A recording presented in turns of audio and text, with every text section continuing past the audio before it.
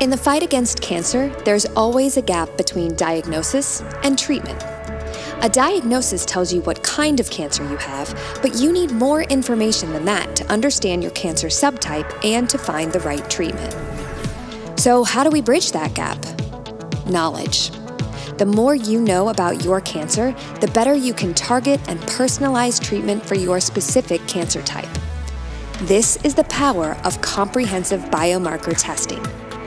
Biomarker testing, also known as genomic testing, can provide the knowledge and insight to bridge the gap between a cancer and your cancer, between a treatment and your treatment.